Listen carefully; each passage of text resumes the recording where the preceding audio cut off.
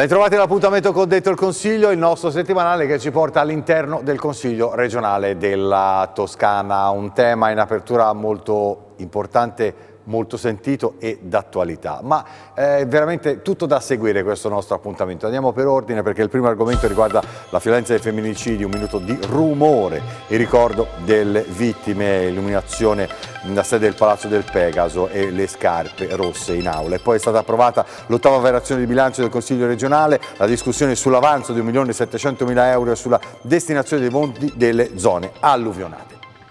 Il primo argomento ci porta all'attualità. Non un minuto di silenzio, ma un minuto di rumore. Un minuto di rumore del Consiglio regionale per ricordare Giulia Cecchettin, la ragazza uccisa dal fidanzato nei giorni scorsi e per le altre donne vittime di femminicidio. E al centro dell'aula, sopra la bandiera con il Pegaso, le vediamo adesso, un paio di scarpe rosse. E invece andiamo all'esterno perché il Palazzo del Pegaso è stato illuminato la sera di rosso fino a sabato 25 novembre, giornata internazionale contro la violenza sulle donne. Queste sono le iniziative simboliche attraverso le quali il Consiglio regionale della Toscana vuole testimoniare la ferma condanna delle violenze dei femminicidi, i cui numeri continuano a crescere tragicamente la solidarietà ai familiari delle vittime. Lo ha deciso l'ufficio di presidenza dopo il caso di femminicidio di Giulia Cecchettin, la cui vicenda occupa ovviamente le cronache dei giorni. Ma viviamo il momento di rumore eh, dell'Aula e poi ascoltiamo anche i consiglieri regionali.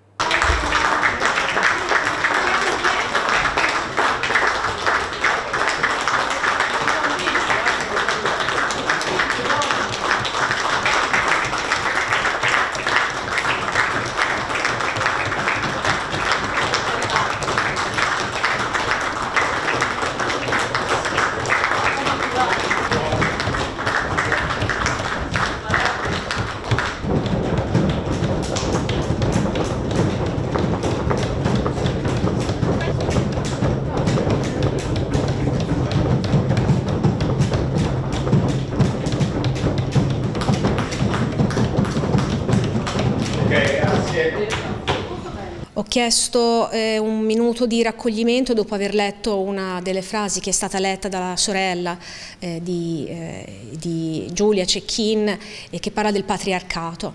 perché è una riflessione che ciascuno di noi può e deve fare. Perché ci possono essere mille leggi, decreti, eh, si possono inasprire le pene, ma nulla sostituirà una cultura del rispetto della persona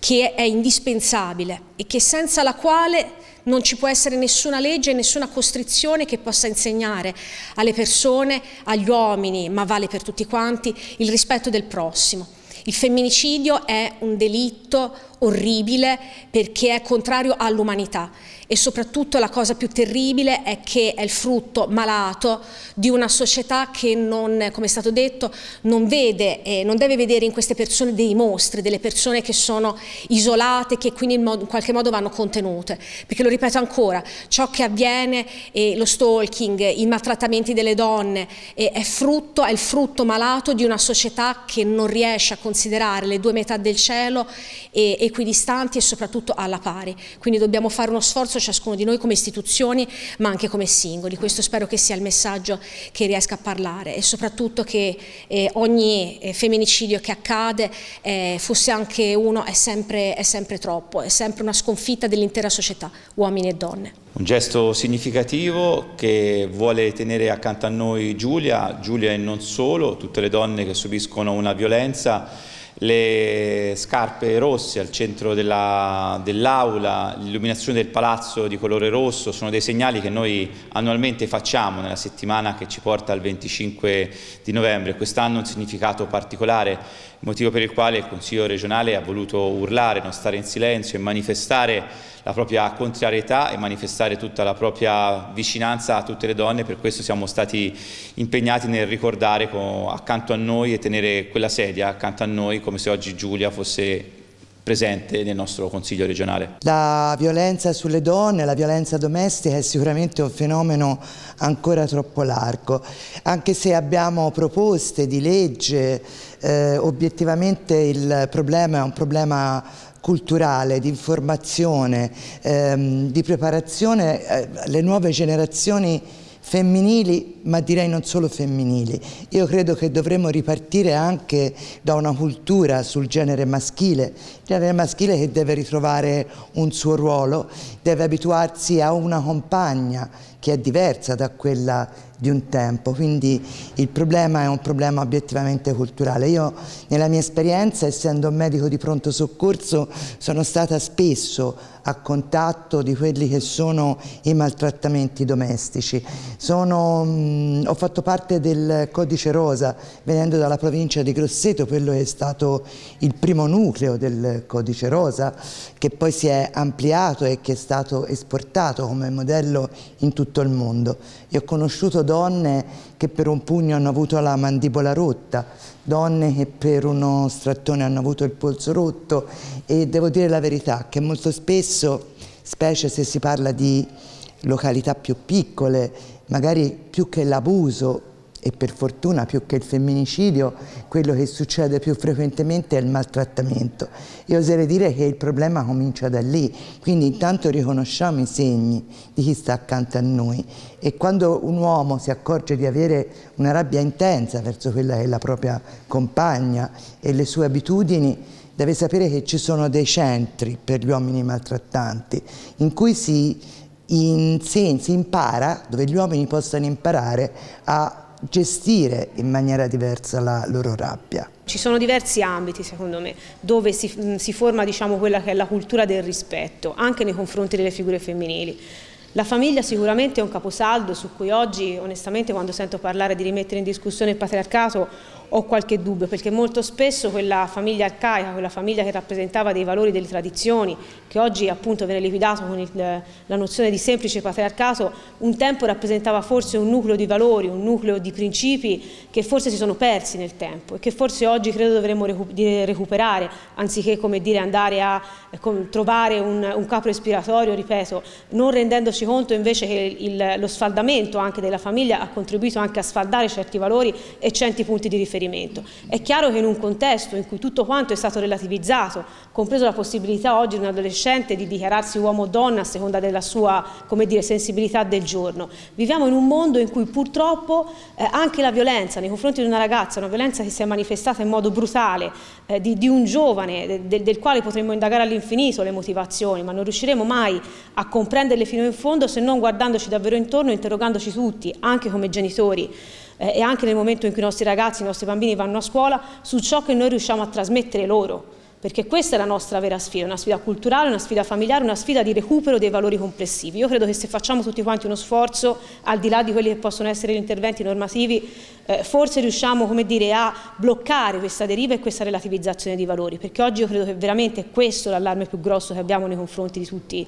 eh, i nostri adolescenti, ma penso anche a tutti quei bambini che vivono una dimensione di infanzia ingenua, ma che fin da piccoli devono capire che all'interno dei nuclei familiari ci sono delle regole, dei principi ben precisi. Quindi è una sfida culturale importantissima. Cambiamo argomento, è stata approvata l'ottava variazione del bilancio di previsione finanziaria del Consiglio regionale per il triennio 2023-2025 con 22 voti favori, eh, favorevoli del Partito Democratico e di Italia Viva, due voti contrari del Movimento 5 Stelle e Forza Italia e 5 astenuti, Fratelli d'Italia. La delibera registra un avanzo di 1.700.000 euro, di cui 1.300.000 euro in conto capitale e 400.000 euro di spesa corrente, che è stato oggetto di due ordini del giorno presentati dal consigliere Marco Stella di Forza Italia, segretario questore dell'ufficio di presidenza. Eh, sono stati mh, mm, eh, dichiarati inammissibili dal vicepresidente Stefano Scaramelli che in quel momento presiedeva l'Aula. Ma ascoltiamo. La variazione in questo momento prevede la semplice allocazione delle risorse derivanti dall'avanzo di amministrazione 2022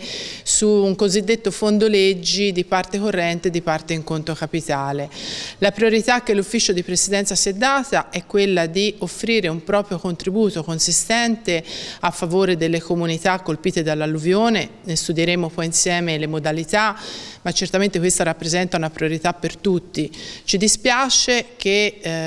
qualcuno abbia preferito strumentalizzare questo passaggio facendo passare un messaggio assolutamente non vero, cioè quello che non fosse una priorità per tutto l'ufficio di presidenza. Fare questa variazione vuol dire esattamente poter spendere soldi nella finalità, nella modalità che ho detto. Votare contro questo atto vuol dire non mettere le risorse a disposizione. Poi... Sono in tutto 1.700.000 euro, eh, in questo momento 1.300.000 di parte in conto investimenti e 400 in conto corrente.